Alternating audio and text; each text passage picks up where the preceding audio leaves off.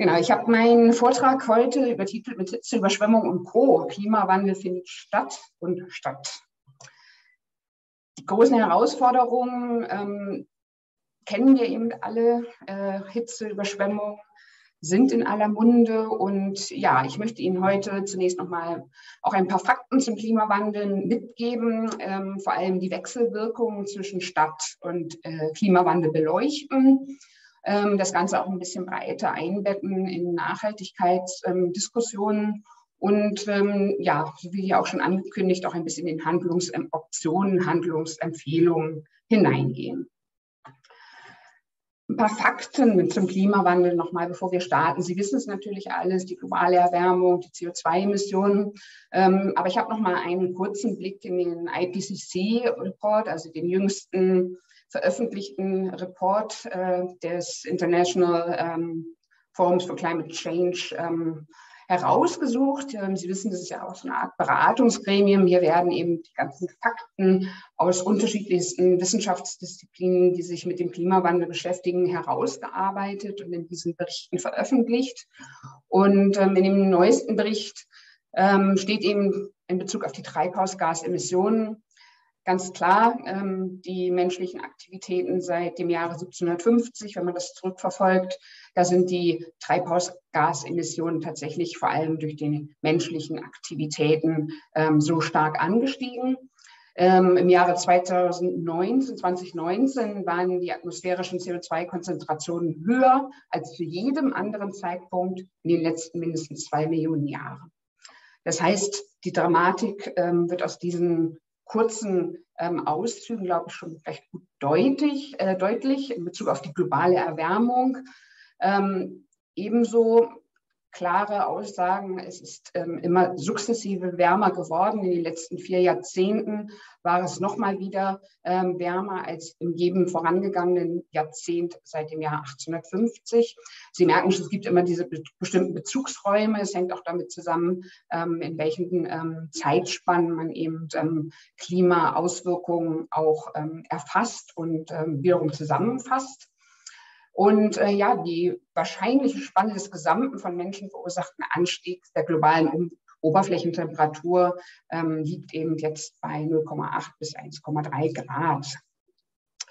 In Bezug auf Extremereignisse, die sich auch ja im Laufe dieses Vortrags immer wieder, ähm, immer wieder auftauchen werden, ähm, lässt sich eben sagen, dass es praktisch sicher ist, dass heiße Extreme, einschließlich Hitzewellen, seit den 1950er Jahren wirklich häufiger und intensiver geworden sind und auch, dass die Häufigkeit und die, die Intensität von stark Niederschlagsereignissen seit den 1950er Jahren zugenommen hat. Also das als Einbettung äh, zu sagen, das, was ich jetzt Ihnen auch in den kommenden ähm, ja, Minuten der nächsten knappen Stunde erzählen werde, hängt natürlich sehr stark damit zusammen und ähm, ist wissenschaftlich auch von den Rahmenbedingungen her erwiesen. Ja, Städte tragen zum Klimawandel bei. Ähm, es gibt Zahlen darüber, dass rund 75 Prozent aller weltweiten CO2-Emissionen ähm, urbanen Ursprungs sind. Ähm, womit hängt das zusammen? Das hängt natürlich mit uns als Menschen zusammen und mit dem, was wir tun, mit unserem Konsum, mit unserer Mobilität, mit unserer Produktivität und was das mit der Umwelt macht. Und dass das etwas mit der Umwelt macht, das merken wir, denn die Umwelt schlägt wiederum zurück. Wir sehen es in einer Zunahme von eben Klima-Extremereignissen, in der Auswirkungen von Naturgefahren. Wir sehen es aber auch in Krankheiten. Sie kennen sicherlich auch die äh, wissenschaftlichen Erkenntnissen, die im Zusammenhang mit Pandemien schon herausgekommen sind, dass wir natürlich als Menschen, indem wir unser Handeln, unser, ähm, unsere Aktivitäten haben, die Umwelt so weit verändern, dass eben zum Beispiel auch Pandemien wieder neu entstehen können. Das Ganze im Kontext meines Vortrags ist eben besonders wichtig, weil wir von städtischen Räumen sprechen. Diese Zahlen kennen Sie auch. Ähm, die urbane Bevölkerung weltweit ist seit dem Jahre 2007 über 50 Prozent angewachsen. Im Jahre 2018 hatten wir ähm, Zahlen, die belegen, dass rund 55 Prozent der ähm, Weltbevölkerung in Städten lebt. Das heißt, unsere Welt ist urban.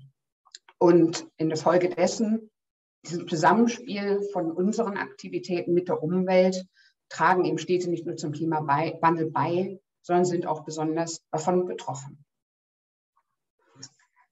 Ganz kurz noch ein, einmal die Zahlen. Ich hatte es eben schon angesprochen. Wir leben im urbanen Zeitalter, im Zeitalter der Städte, im sogenannten Urban Age. Ähm, wir leben auch im Anthropozän, ein Begriff, der seit einigen Jahren ja auch immer stärker geprägt wird. Anthropozän, eben dieses Erdzeitalter praktisch, was so stark von uns Menschen geformt und überformt wird. Und die Städte, die urbane Bevölkerung trägt eben hier einen großen Teil auch bei. Und wenn Sie sich die Zahlen angucken, Prognosen ähm, bis zum Jahre 2050, ähm, so sehen Sie natürlich, die Weltbevölkerung wird grundsätzlich weiter wachsen. Man geht von einem Wachstum von 2,2 Milliarden in etwa aus. Und wenn Sie sich das Gleiche bezogen auf den Anteil der städtischen Bevölkerung ansehen, dann wird nochmal deutlich, dass wir oder unsere Welt immer urbaner wird. Denn hier wird der Zuzug oder die Zunahme der städtischen Bevölkerung sogar 2,5 Milliarden ähm, Menschen betragen. Das heißt, einerseits mit der äh, natürlichen Bevölkerungsentwicklung, aber weiterhin auch mit dem Zuzug und auch der Neugründung von Städten zusammen. Ja, warum sind Städte so spannend und herausfordernd, wie es auch gerade am Anfang von Frau Müller schon angesprochen worden ist? Städte sind eben eine Ansammlung von unterschiedlichsten Prozessen, von unterschiedlichsten Strukturen, von Zusammensetzungen, von Kulturen, von Akteuren, von ähm, unterschiedlichsten ähm, miteinander dynamisch verbundenen ähm, Effekten, die entstehen und die es einerseits eben ja so herausfordernd machen, ähm, weil das alles so, so komplex ist. In Städten bündelt sich unglaublich viel. Ähm, es läuft ganz viel parallel ab. Ähm, es ist alles sehr komplex. Es ist, und es ist unheimlich dynamisch. Ähm, Sie sehen es auch, zum Beispiel in Wien, die Bevölkerungszahlen wachsen, aber wenn Sie in andere Städte, nach Südostasien oder ähm, sonst wohin gucken, dann haben Sie diese Dynamik natürlich noch viel ähm, rasanter, dieses Wachstum, dieses Nebeneinander und Verdrängen ähm, auch von Prozessen und Strukturen. Das heißt, wir haben ganz, ganz viele Herausforderungen in Städten. Ähm, und alles, was entwickelt wird ähm, und auch Lösungsansätze, die wir vorschlagen, die wir entwickeln, da müssen wir immer beachten, dass das alles sehr kontextspezifisch ist. Mir ist es immer sehr wichtig, das zu sagen, wenn ich gefragt wird, naja, wie können wir dann unsere Städte ähm, verändern? Ähm, da sage ich mir, es gibt, ein, es gibt keine Blaupause, ähm, sondern es geht eben darum, dass die Städte ganz unterschiedliche Herausforderungen haben, Sie liegen in ganz unterschiedlichen geografischen Kontexten, ganz unterschiedlichen klimatischen Kontexten. Ähm, die Kulturen, die Mentalitäten sind unterschiedlich. Das heißt, man wird nicht den einen Lösungsansatz finden, sondern die Städte müssen gemeinsam mit den Menschen eben ähm, ihre ganz spezifischen Herausforderungen angehen und dafür kontextspezifische Lösungen entwickeln. Ich habe es schon am Anfang gesagt, Städte sind eben, tragen einerseits bei zum Klimawandel, sind aber auch selber betroffen. Also sie sind sowohl Verursacher als auch Leidtragende des Klimawandels. Und im Folgenden möchte ich ein bisschen näher darauf eingehen und auch über die Folgen und Lösungsansätze sprechen. Inwiefern tragen denn Städte zum Klimawandel bei?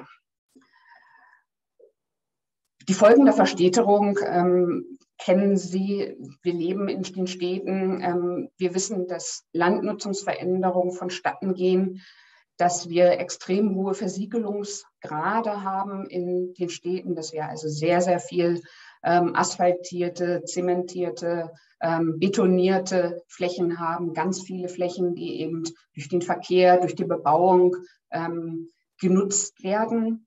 Ähm, das trägt ähm, wiederum zum Klimawandel bei, dadurch, dass wir erhöhte Temperaturen haben, ähm, dass wir eben hier nicht die Verdunstung mehr haben, die wir bräuchten. Wir haben andererseits eben vor allem diesen hohen Flächenverbrauch, Ressourcenverbrauch allgemein, aber vor allem Fläche. Wir verbrauchen unheimlich viel Energie in den Städten ähm, durch hohe Mobilität, ähm, unter anderem, aber auch eben durch die Gebäude, ähm, emittieren wir viel CO2. Es entsteht viel Wärme in den Städten. Ähm, wir verbrauchen auch durch Mobilität, durch Verkehrswege sehr viel Flächen. Ähm, und insgesamt durch diese Produktivität entsteht eben ähm, ein, eine Wechselwirkung. Also der Beitrag, der, die Folgen der Zunahme der Städte, die dann eben zurückschlägt und sich wiederum widerspiegelt in dem Beitrag zum Klimawandel. Und wenn man da ein bisschen differenzieren möchte, dann ähm, sind es in erster Linie tatsächlich die Wohngebäude, ähm, die hier auch sehr stark ähm, emittieren, ähm, auch viel Wärme abgeben. Natürlich entsteht auch viel im Bereich Industrie, äh, von Industrie und Gewerbe. Mit Mobilität hat ich es angesprochen, der gesamte Transportsektor natürlich, vor allem der motorisierte Individualverkehr, ähm, aber auch Abfall, Abwasser, ähm, was ja auch in großen Mengen äh, entsteht, ähm, entsteht, produziert wird, ähm, trägt wiederum zu diesen Wechselwirkungen ähm, mit dem Klima oder zur Verstärkung des Klimawandels bei. Auch hier nochmal einmal der Blick äh, in den neuesten IPCC-Report hinein, ähm, wo auch ganz klar als ein Fakt steht, Städte verstärken die von Menschen verursachte Erwärmung ähm, lokal. Das heißt, Städte als Mitverursacher, als Treiber ähm, der globalen Erwärmung, aber natürlich auch Verlust der Biodiversität im Zusammenhang mit den von mir angesprochenen Landnutzungsveränderungen zum Beispiel zu sehen. Ich hatte am Anfang gesagt, das schlägt natürlich zurück. Also was wir tun, was wir Menschen ähm, machen, ähm, zeigt sich auch wieder ähm, in unserem täglichen ähm, Lebensumfeld. Und was wir vor allem erleben, auch eben vor allem in den Städten, ähm, sind die Auswirkungen von den ähm, klima klimatisch bedingten Extremereignissen. Denken wir an Überschwemmungen, an Dürren, Trockenheit, Hitzewellen und auch Stürme. Stürme. Ähm, das sind alles ähm, Ereignisse, die wir heute mit immer größerer Intensität erleben und auch mit größerer Häufigkeit erleben. Und das sind eben die Auswirkungen, mit denen wir ähm, zu kämpfen haben. Auch hier natürlich Überschwemmungen. Die Frage, warum äh, kommt es zu diesen Überschwemmungen? Es hat natürlich sehr viel damit zu tun mit den versiegelten Flächen, die ich angesprochen habe, die einerseits ihren Beitrag dazu leisten ähm, zum Klimawandel, aber auch wiederum eben die Folge oder ein Grund sind, warum die Folgen so gravierend sind. Weil wenn wir eben ähm, intensive Regenereignisse haben, dann kann in Städten aufgrund dieser hohen Versiegelung ähm, dieses Wasser eben nicht, nicht richtig abfließen. Es möchte eigentlich nicht Kanalisation, ähm, aber die Kanalisation kann eben oft diese Intensitäten gar nicht aufnehmen. Und es fehlt an Flächen, wo das Wasser dann versickern könnte oder auch gespeichert werden könnte, also sogenannte Retentionsflächen. Ähm, genauso, wenn wir an Hitzewellen denken. Auch hier hätten wir nicht diese hohen Versiegelungsgrade, hätten wir also stattdessen Grünflächen zum Beispiel, könnten wir auch hier ähm, besser damit umgehen, weil die grünen Flächen eben auch zur Kühlung beitragen. Das heißt, die Auswirkungen des Klimawandels machen natürlich uns in den Städten ähm, oder die Städte selber eben auch zu den Leidtragenden des Klimawandels. Was hier aber auch wichtig zu sagen ist, ähm, dass der Klimawandel praktisch nochmal oben drauf kommt. Also wir haben durch eine ganze Reihe von ähm, Herausforderungen, von verschiedenen Verwundbarkeiten, von Risiken, ähm, die wir in den Städten haben, wo der Klimawandel praktisch nochmal oben drauf kommt. Und was meine ich damit? Ähm, ich meine damit, ähm, dass Städte oftmals ja sowieso in sehr ja, exponierten Lagen ähm, angesiedelt worden sind. Denken Sie an die vielen Städte, die in, an Küsten ähm, angesiedelt worden sind oder entstanden sind oder an Flüssen. Ähm, das heißt, hier besteht allein dadurch, dass Sie in diesen ähm, Lagen ähm, sind, sind Sie natürlich schon stärker ausgesetzt gegenüber grundsätzlich Überflutungs-, Überschwemmungsereignissen, die es ja auch schon immer gegeben hat, die jetzt eben immer nur stärker auftreten. Ähm, an, ein anderer Punkt, den ich damit meinte, mit ähm, schon bestehenden Risiken oder Problemen, ist auch das spezifische Stadtklima. Das, was wir haben, diese ähm, Überwärmung in den Städten, also diese ähm, geringeren Abkühlungstemperaturen, ähm, Raten ähm, in der Nacht zum Beispiel, weil wir eben diese versiegelten Flächen haben, weil wir nicht mehr die Luftzirkulation haben. Das ist natürlich ein spezifisches ähm, Stadtklima, was erstmal sowieso da ist aufgrund der Struktur, aufgrund der Beschaffenheit der Städte. Also dieses, diese Überwärmung gegenüber dem Umland ähm, ist eben etwas Typisches grundsätzlich für Städte. Und die Stadtstrukturen selber, die wir haben, ähm, wie Städte gebaut worden sind, ähm, sind natürlich ähm, grundsätzlich auch schon ähm, mit vielen Herausforderungen ähm, begriffen. Andererseits werden eben Städte oder Städte werden deshalb auch besonders zu Leidtragenden des Klimawandels, weil wir es eben mit so einer hohen Anzahl von Gütern, von Infrastrukturen, aber auch eben von so vielen Menschen haben, die hier auf vergleichsweise engen Raum ähm, zusammenleben, sodass die Gefährdungspotenziale eben ansteigen. Sie, Sie, haben das ja auch alle gesehen, wenn, wenn dann eine, eine Flut kommt, wenn eine Überschwemmung kommt, ähm, dann sind die Auswirkungen tatsächlich so äh, katastrophal, weil eben auf engen Raum ähm, sehr viel ähm, Betroffenheit dann da ist. Auch hier in diesem Zusammenhang möchte ich noch einmal kurz auf den IPCC-Bericht äh, zurückgehen und da äh, zwei Zitate hinaus herausnehmen, die das nochmal unterstützen, was ich eben gesagt habe und auch nochmal ein Stück in die Zukunft blicken. Denn dort wird auch gesagt, die weitere Verstädterung zusammen mit häufigeren Hitzeextremen wird die Schwere von Hitzewellen verstärken. Also wir müssen uns noch auf mehr Hitze auch einstellen.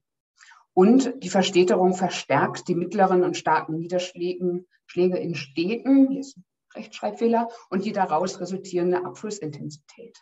Also das, was ich Ihnen eben gesagt habe, ähm, diese Zusammenhänge ähm, wurden auch so als Key Factors, als die ähm, Informationen noch einmal im IPCC zusammengefasst.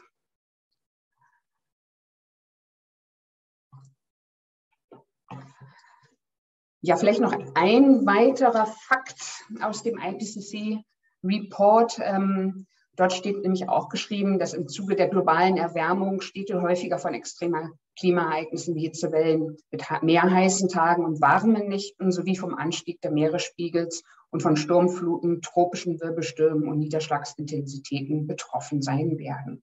Also dies nochmal als Zusammenfassung.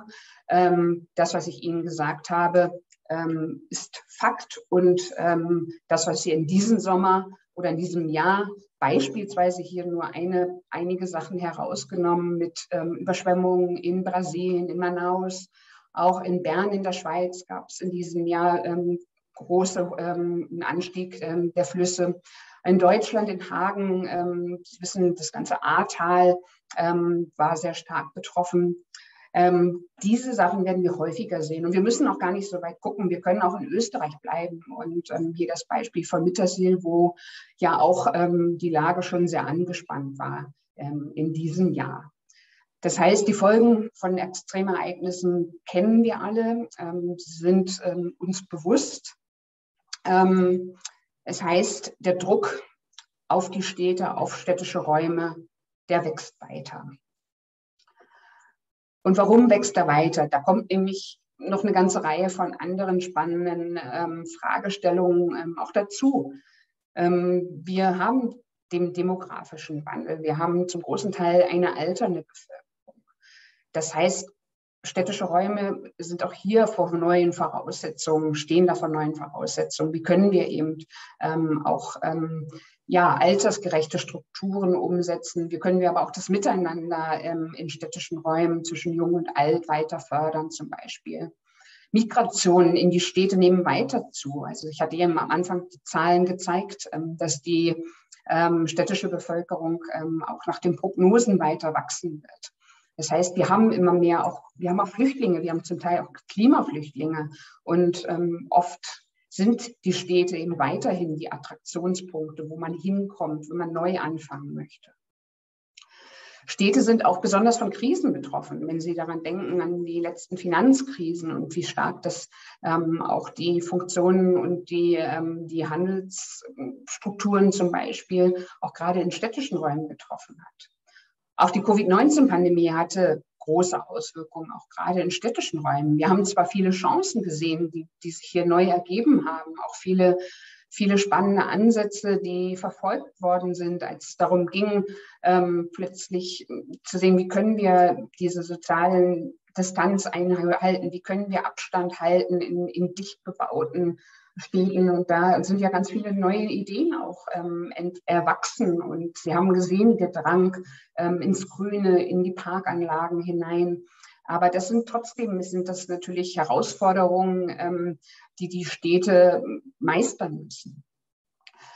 Ein weiterer Aspekt, den ich gerne nennen möchte, wenn es um städtische Räume geht, ist natürlich auch dieser, ja, der Druck untereinander. Also Städte stehen auch immer, immer stärker auch in einem Wettbewerb zueinander. Also es geht oft darum, ähm, auch bestimmte Leitbilder zum Beispiel umzusetzen, besonders ähm, zu zeigen, wie die besonders grüne Stadt, die besonders verkehrsfreundliche Stadt, die besonders fußgängerfreundlichste Stadt zu sein oder insbesondere ja die smarteste oder nachhaltigste Stadt zu sein. Und das ist natürlich auch etwas, was, wo man immer gucken muss, was, was steckt da wirklich hinter, was wird wirklich ernsthaft betrieben und was ähm, hat auch so einen bestimmten Wettbewerbsgedanken, ähm, der damit ähm, einhergeht. Und ein anderer Punkt, der ja auch sehr ähm, relevant ist, ähm, etwas, was ich ähm, sehr stark auch aus Lateinamerika, aus meiner langjährigen Forschung dort vor Ort, von der ich Ihnen in, in den nächsten, Zeit, nächsten Minuten auch noch näher berichten möchte, ist diese große soziale um oder diese große sozialräumliche Ungleichheit. Also ähm, die Verteilung von sozialen Gruppen in der Stadt, in, in, und zwar auf räumlichen Ebene. Ähm, und das hat etwas damit zu tun, ähm, dass eben hier zum Beispiel ärmere und reichere Bevölkerungsschichten ähm, in unterschiedlichen Bereichen der Städte zum Beispiel leben, dass sie teilweise äh, vertrieben werden, Verdrängungsprozesse stattfinden. denken Sie an steigende Mieten, die vielleicht im Zuge von neuen Grünflächen auch entstehen.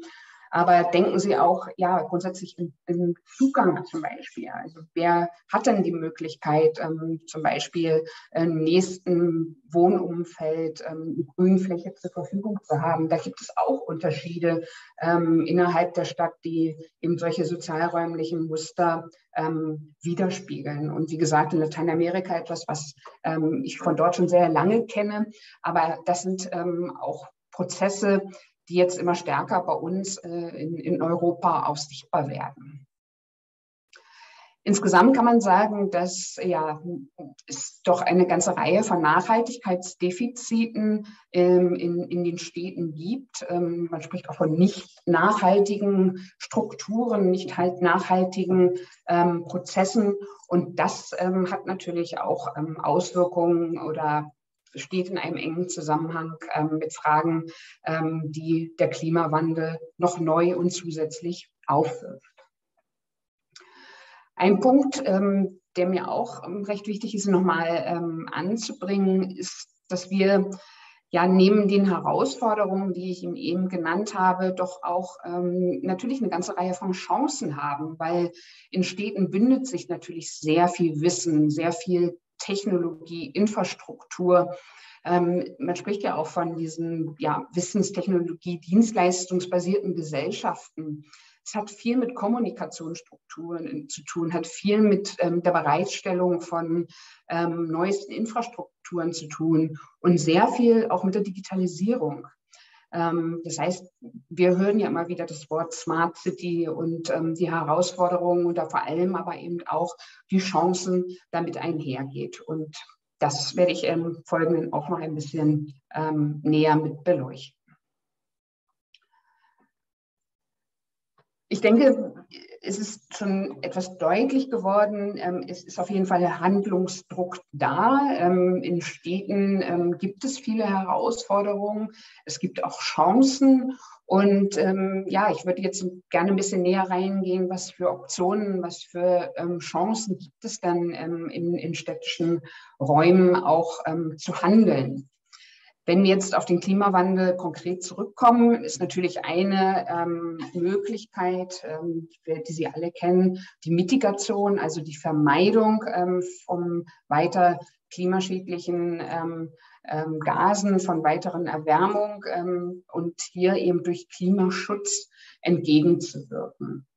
Und ähm, da ist eine Hauptoption oder oder eine wichtige Rolle spielt hier tatsächlich in diesem Kontext die Stadtplanung und ähm, ja auch die Stadtentwicklung. Ähm, was sind denn so Optionen, die wir da haben? Ähm, grundsätzlich, wenn wir von nachhaltiger Stadtentwicklung sprechen, von Stadtentwicklung, sprechen wir oft von kompakten Städten, also die Entwicklung der Städte, dass die Strukturen ähm, letztendlich kompakter sein müssten, dass wir ähm, verdichter, also dichter bauen müssen, also mehr auch in die Höhe, als statt in die weitere, ins Umland hineinzugehen zum Beispiel. Ähm, insgesamt kürzere Wege ähm, zu denken innerhalb der Städte, die Daseinsversorgung eben ähm, stärker auch noch zu bündeln.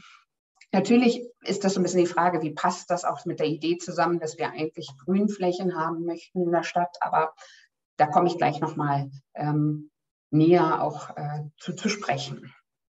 Ähm, aber aus der Planungsperspektive eben die Idee dieser kompakten Städte, um letztendlich ähm, ja, weitere Mobilitäten nicht zu erhöhen, weitere Versiegelung ähm, ja, oder dem ein Stück weit äh, entgegenzuwirken. Ähm, weiteres Instrument oder Optionen, eben Mitigationen zu betreiben, ist ja auch die Mobilität.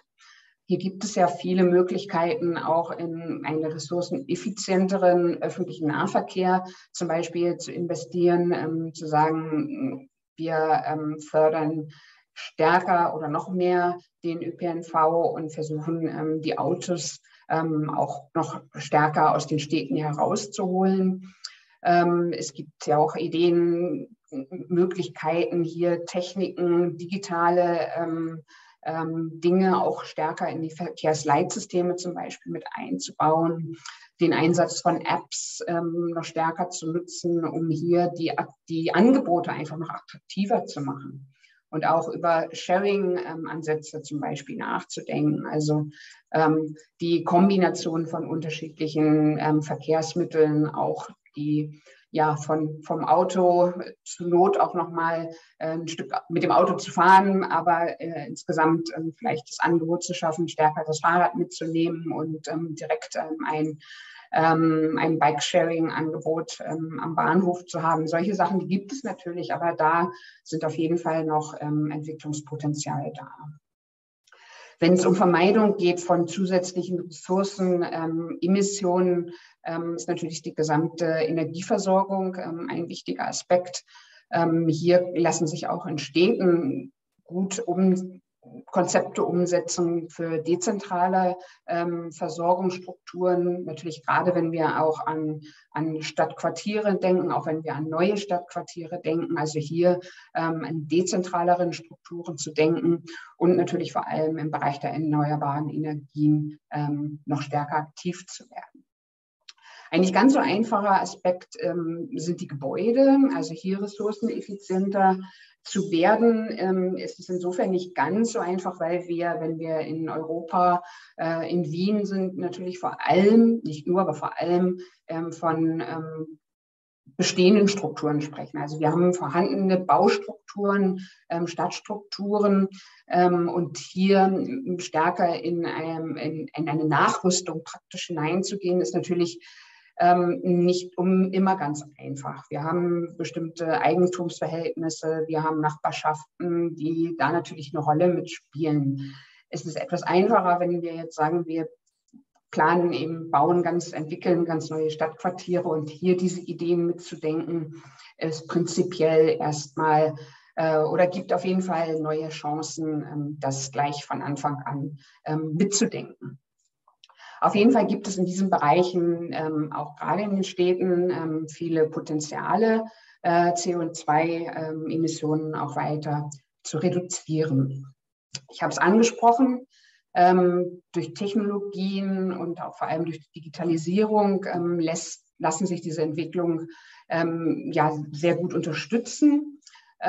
Ich bin allerdings immer auch ein bisschen vorsichtig dabei zu sagen, ähm, das ist jetzt die Allheillösung, ähm, weil natürlich können eben auch durch den Einsatz von ähm, intelligenten, smarten Wohnen äh, zum Beispiel oder durch ähm, andere eingesetzte ähm, digitale ähm, Infrastrukturen auch wieder negative Aspekte oder Auswirkungen auftauchen. Also dass man versucht, etwas zu lösen, was dann wieder negative Rück Kopplungseffekte oder sogenannte Rebound-Effekte erzeugt. Also denken wir daran, dass sich dann eben vielleicht dadurch doch der Energieverbrauch wieder erhöht, wenn wir eben ähm, mehr äh, Digitalisierung einsetzen oder dass wir zum Beispiel nicht alle Menschen mitnehmen, wenn es darum geht, ähm, Technologien und Digitalisierung umzusetzen, weil nicht jeder mit allen ähm, äh, technischen Neuerungen vielleicht sich gut auskennt, wenn diese E-Governance-Optionen zum Beispiel, also dass man vieles digital auch im administrativen Bereich regelt, dass gar nicht alle Menschen in der Lage sind, ähm, ähm, diese Möglichkeiten auch zu nutzen. Also hier durchaus auch ein bisschen Vorsicht geboten. Für mich ist eben der Ansatz von Smart City, Smart ähm, Technologien letztendlich eine, eine gute Möglichkeit zu unterstützen. Aber es kann für mich nicht das Ziel ähm, einer nachhaltigen Stadtentwicklung sein. Dennoch sind hier auf jeden Fall die Chancen zu nennen. Ja, das war jetzt der Bereich Klimaschutz, ähm, Klimaanpassung. Ähm, ist heute natürlich genauso wichtig. Anpassung eben verstanden als den Umgang mit äh, bereits existenten und auch noch zu erwarteten Folgen des Klimawandels. Also letztendlich die Anpassung an das Unausweichliche, weil es eben schon da ist, weil wir mit dem Klimaschutz ähm, die wir jetzt ähm, angehen oder angegangen sind, eben gar nicht mehr ähm, das Rad zurückdrehen können. Also weil auch alles, was wir jetzt an CO2-Einsparung zum Beispiel ähm, erreichen, wird sich so schnell nicht positiv auswirken können, weil das Klima viel zu langsam ähm, darauf auch reagiert. Das heißt, wir müssen uns unvermeidlich ähm, auch anpassen. Auch hier Stadtplanung und Stadtentwicklung eben ähm, sehr wichtig. Ähm, denken Sie zum Beispiel an das, was ich Ihnen am Anfang erzählt habe, die ähm, die Fragen nach was passiert mit Wasser, wenn es äh, intensive Niederschläge gibt, ähm, was passiert, ähm, wenn es Hitzewellen gibt. Auch in Wien haben wir ja extrem heiße Sommer.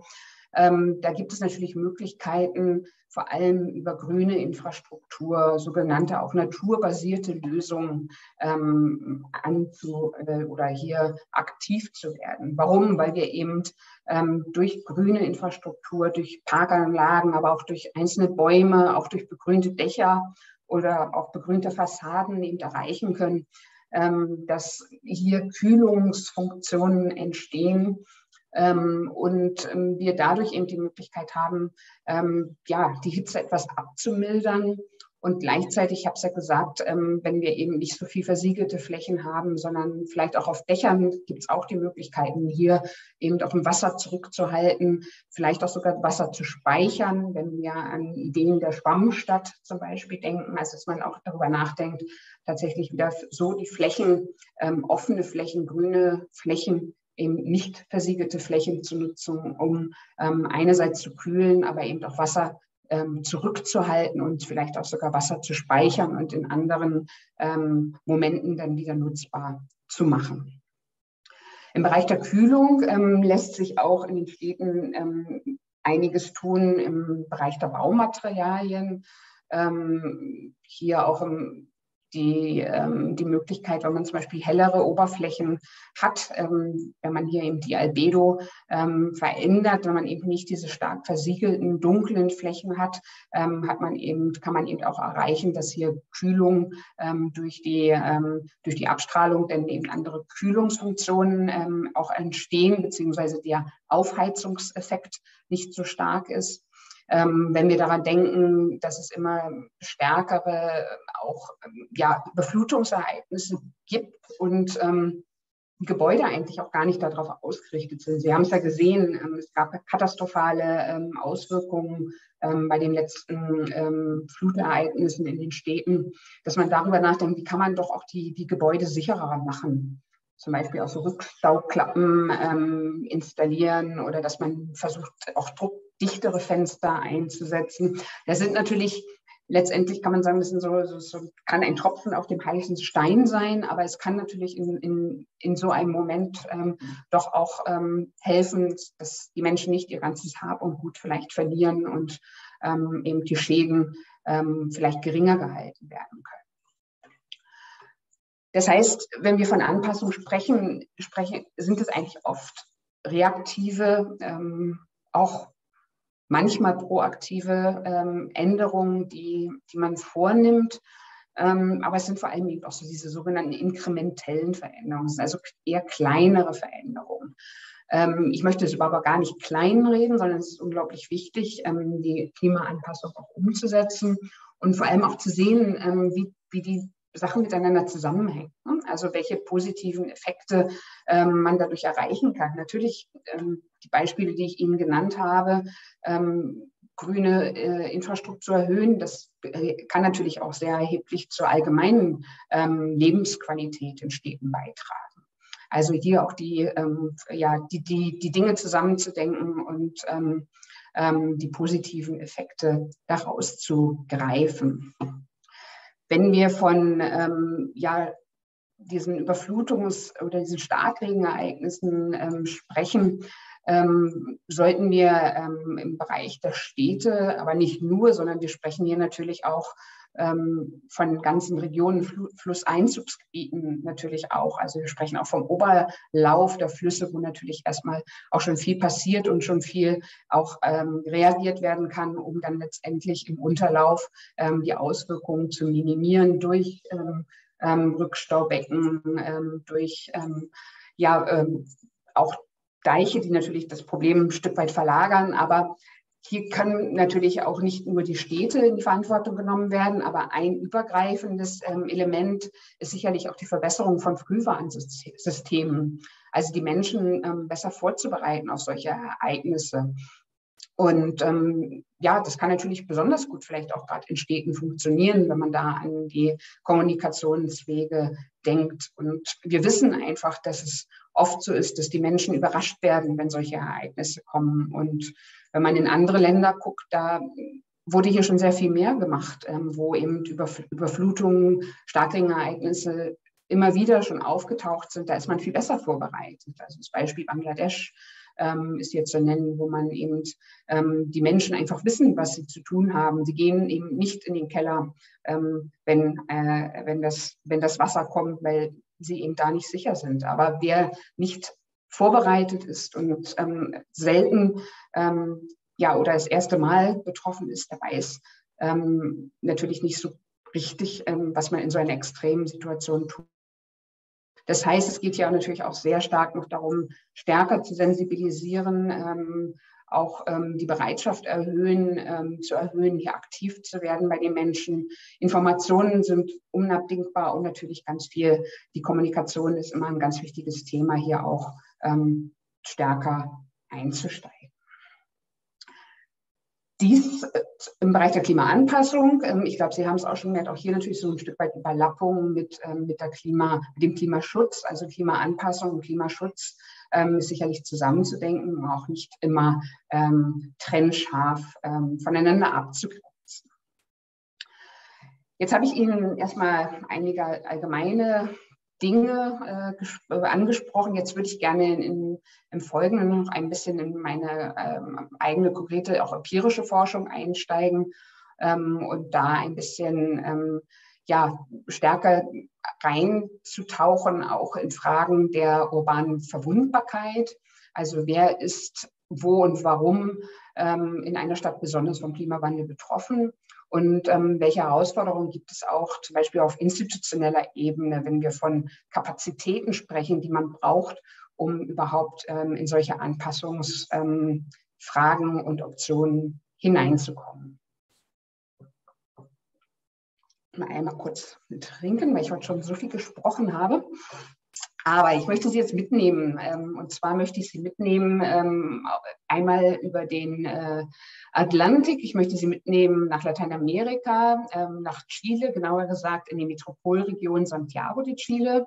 Wir haben dort eine ganze Zeit lang sehr intensive Forschung im Bereich zunächst Megastadtforschung äh, betrieben und dann stärker von allgemeinen Herausforderungen sehr stark auf den Klimawandel ähm, übergegangen.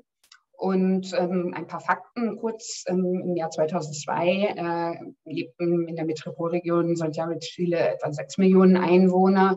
In die Zukunft ähm, erwartet man etwa 8,5 Millionen Einwohner. Und was ich vorhin schon angesprochen hatte, ähm, Santiago de Chile ist eben eine Stadt, eine Metropolregion, die sehr stark von dieser sozialräumlichen Ungleichheit äh, betroffen ist. Es ist ein traditionelles Charakteristikum, dass eben ähm, die Spanne auch zwischen ähm, ärmeren und reicheren Menschen sehr groß ist. Was wir dort gemacht haben, wir haben uns einem, wir haben Prognosen, Modellrechnungen gemacht und ähm, uns mit dem Klimawandel ähm, näher auseinandergesetzt, um zu sehen, was für Auswirkungen sind denn im, bis in das Jahre 2060 zu erwarten. Ähm, wir haben eben ähm, gesehen, dass Niederschlagsrückgang wird eintreten. Es wird aber mehr Konzentrationen von Starkregen geben ähm, und ähm, extreme Temperaturen werden weiter zunehmen. Und das hat ähm, eben äh, Auswirkungen einerseits auf die Wasserverfügbarkeit. Das ist eben ein Problem in dieser Region, wo wir ja äh, einerseits den El Niño-Effekt haben, wo wir das ähm, abschmelzende Gletscher haben in der Andenregion, was eben starke Auswirkungen auf die Stadt hat. Aber zwei Ereignisse oder zwei Extreme, mit denen ich mich jetzt in den nächsten Minuten näher beschäftigen wird, ist, ähm, sind eben die Starkregenereignisse und die Extremtemperaturen, die eben daran resultieren werden, dass eben Flutereignisse, Überschwemmungen oder auch Hitzeereignisse in der Stadt stärker zunehmen werden. Kurz gesprochen, ähm, Santiago Chile wird immer trockener und heißer werden. Und wir haben uns dann eben die Fragen gestellt, ähm, was hat das denn für Auswirkungen auf die Gesellschaft? Und eine Frage lautete eben, wer ist eigentlich wo und warum von Hitze und Flut betroffen?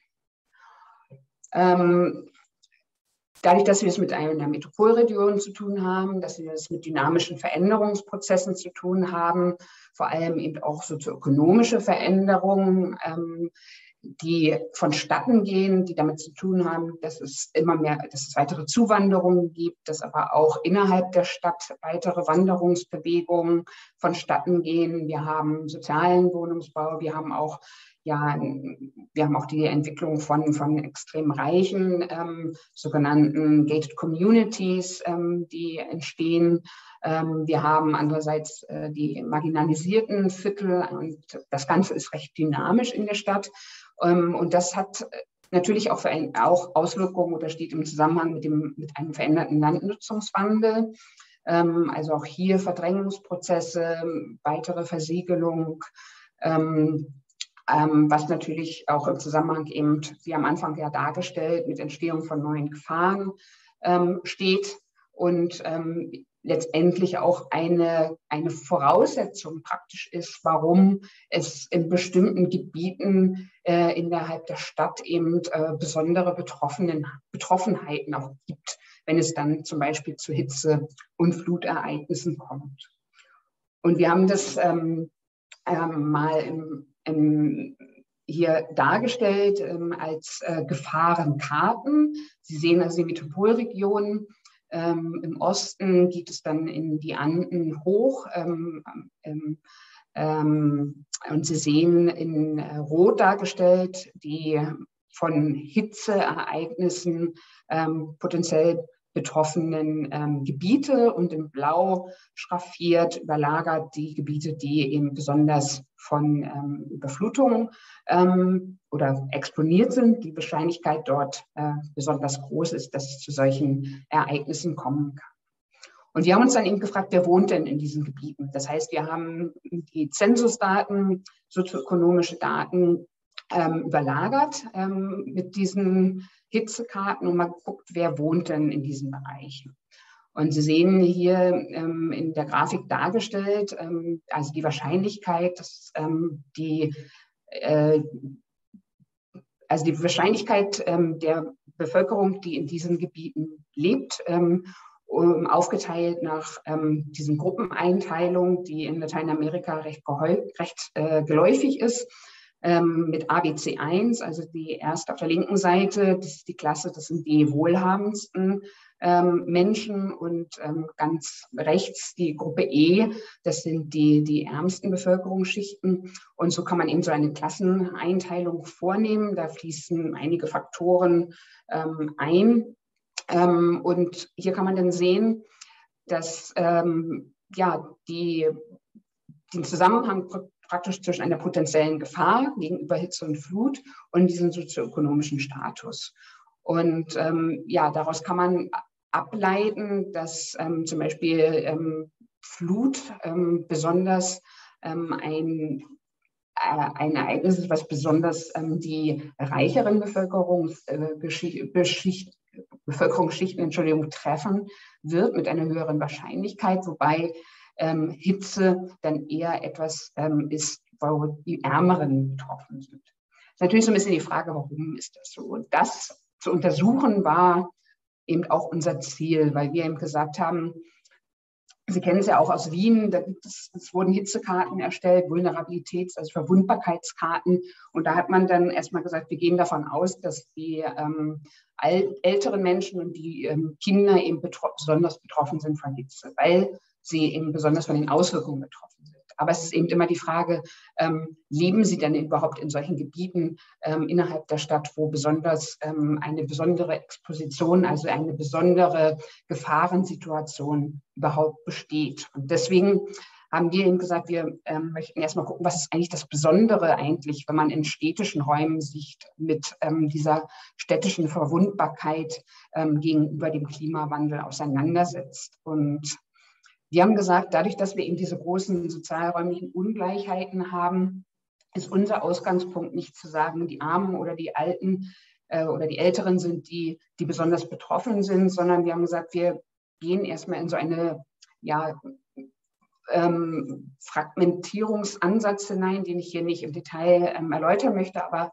wir haben gesagt, es ist erstmal relevant zu, die ganze Stadt erstmal zu untersuchen in Bezug auf zum Beispiel Bevölkerungsdichte, Versiegelungsgrad, ähm, den Anteil der, der, der Grünen, äh, also den sogenannten Vegetationsindex oder auch die, den Zugang oder die Ausstattung mit bestimmten Serviceleistungen oder Infrastrukturen und anhand dessen erstmal zu gucken, wie verteilt sich das eigentlich über die Stadt. Und das ist für uns erstmal ähm, ein Ansatz gewesen, dass auf dieser Basis man bestimmte Gebiete auch erstmal rauskristallisiert, die dann tatsächlich ähm, besonders ähm, exponiert, also Anfälle oder ja, besonders gegenüber diesen ähm, Hitze- und Flutereignissen erstmal ähm, anfällig betroffen sind. Und die zweite ähm, Frage war dann eben zu gucken, ähm, in diesen Gebieten, die besonders exponiert sind, dann nochmal reinzugucken und zu sagen, wie können wir über Indikatoren dann eben beschreiben, wie diese drei Dimensionen, die man unter der urbanen Verwundbarkeit ähm, ähm, äh, eben heranzieht, also die Exposition, die Anfälligkeit, im Englischen Susceptibility und die Bewältigungskapazität der Bevölkerung, also die Coping Capacity im Englischen, dass man hier ähm, über Indikatoren tatsächlich dann die, ähm, die wirklichen ähm, Verwundbarkeiten herauskristallisiert. Wie gesagt, wir haben hier Indikatoren eingesetzt, haben uns angeguckt, wie sind die Gebäudestrukturen, die Dachformen, also in Bezug zum Beispiel auf Potenzial für Photovoltaik, aber auch für ähm, die Fragen wie, ähm, welche, welche Dächer zum Beispiel bedingen, dass das Wasser anders abfließt, die Materialien der Dächer, auch Infrastrukturen, die sind für uns entscheidend, wenn es darum geht, ähm, die Expositionen, also die, die ja, gegenüber ähm, Hitze und Flut erstmal der Bevölkerung ähm, sich anzugucken. Die Anfälligkeit, also diese Voraussetzung, dass jemand überhaupt ähm, betroffen oder eben vulnerabel ist. Da ist eingeflossen zum Beispiel die Haushaltsstrukturen, wie setzen sich eben die Haushalte im Alter zusammen, ähm, wie ist der sozioökonomische Status zum Beispiel. Und wenn es um die Bewältigungskapazität, an die Bewältigungskapazität geht, also die Möglichkeiten, ähm, mit einer Gefahr auch tatsächlich umzugehen, da hat uns dann interessiert, ähm, wie, wie wird dann eben überhaupt wahrgenommen, ähm, was für Probleme es gibt. Ähm, wie sind soziale Netzwerke? Welche Netzwerke haben die Menschen? Wie sind sie eingebettet? Und was wissen sie zum Beispiel über Schutzmaßnahmen? Das sind so diese Aspekte, die uns interessiert haben, um eben genauer zu untersuchen, was ist eigentlich das Spezifische ähm, an diesen ähm, Phänomenen der, der Betroffenheit gegenüber Hitze und Flutereignissen. Ähm, wir haben dann unterschiedliche Analysen, also erstmal Daten erhoben. Wir sind ähm, durch die Gegend gegangen, haben kartiert, haben den Zustand der Häuser, der Straßen, der Vorgärten uns angeguckt und haben dann eben ähm, intensive Haushaltsbefragungen durchgeführt und die Menschen eben gefragt, ähm, wie wird es überhaupt wahrgenommen, wie sehen sie den Klimawandel, wie gut sind sie informiert und diese Informationen aus diesen Kartierungen und Haushaltsbefragungen sind dann eben in unsere Analysen eingeflossen. Ähm, wir haben dann ähm, sogenannte Indizes erstellt. Ähm, das habe ich jetzt leider nur im Englischen vorliegen, aber die Idee dahinter ist einfach zu sagen, man guckt sich eben, man nimmt verschiedene Indikatoren raus, wie zum Beispiel die sozialen Netzwerke oder den, ähm, ähm, die die Nutzung oder das Wissen darüber, wie, wie man Grünflächen zum Beispiel nutzt. Und das bewertet man. Ähm, und da sind viele Informationen eingeflossen aus der Literatur, aus Experteninterviews.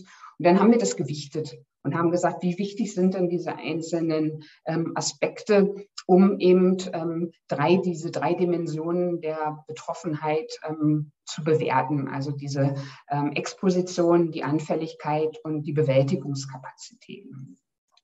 Und was dann am Ende rausgekommen ist, das ist eigentlich das Entscheidende, was ich Ihnen gern zeigen wollte. Ähm, das sind solche Karten. Also wir haben hier solche Hotspot-Gebiete, ein Gebiet, was besonders nach den Gefahrenkarten erstmal gegenüber Hitze ähm, exponiert ist. Und dann haben wir uns diese drei Dimensionen angeguckt. Und wenn Sie sehen, ähm, es ist ja auch nur auf Englisch, aber ich denke, das, das, lässt sich schnell erläutern. In der linken Grafik, also die Exposition, die ist im, in dem oberen Bereich eben mit dunkelrot besonders hoch. Also hier ist erstmal aufgrund der Beschaffenheit ähm, der Häuser zum Beispiel ähm, eine hohe Betroffenheit gegenüber Hitze. Die Anfälligkeit ähm, ist so mittel, aber was entscheidend ist, dass Sie in diesem gleichen Gebiet sehen, also auf der rechten Karte jetzt die Coping Capacity, also die Bewältigungskapazität, die ist sehr gering. Also wir haben einerseits eine hohe Exposition gegenüber Hitze, aber die Bevölkerung ähm, weiß und macht sehr, sehr wenig, um damit umzugehen. Und das war für uns ähm, eben, ähm, Anlass, ins Gespräch zu kommen, ähm, mit Gemeindenvertretern zu sprechen, denen die Karten zu zeigen und ganz konkret äh, in Überlegungen reinzugehen, warum ist es denn so in diesen Gebieten? Ähm, sehen Sie das auch so und was können wir da für Maßnahmen umsetzen, um eben der Bevölkerung zu helfen, sich an den Klimawandel anzupassen? Dass das nicht ganz so einfach ist, hat sich gezeigt, indem wir eine weitere Analyse gemacht haben und zwar uns mal angeguckt haben, wie gut sind denn die Institutionen, Institutionen also diese Verwaltungen der Gemeinden selber eigentlich informiert über den Klimawandel, wie viel wissen die eigentlich Bescheid, wie gut sind deren Anpassungskapazitäten. Ähm, auch hier möchte ich nicht ins Detail gehen, aber es gibt eben dieses Adaptive Capacity Wheel, was Sie hier abgebildet sehen, ähm, was entwickelt worden ist, wo man verschiedene Dimensionen ähm, ähm abbilden kann, die zusammen im Zusammenhang stehen mit den Kapazitäten von Institutionen. Man kann eben daraus dann ableiten, wir haben Interviews durchgeführt, um zu gucken, wo liegen eigentlich die Stärken und Schwächen ähm, in den ähm, bestehenden Strukturen die dort fortzufinden sind. Und wenn man jetzt so ein Beispiel mal herausgreift, also für diese Dimension, ähm, den Raum für wirklich eigene Veränderung, also Room for Autonomous Change and the Ability to Improvise, also diese Möglichkeit, auch tatsächlich etwas zu verändern, ähm, diese Dimension, Da haben wir dann aus einem Interview jetzt einfach mal beispielhaft rausgezogen.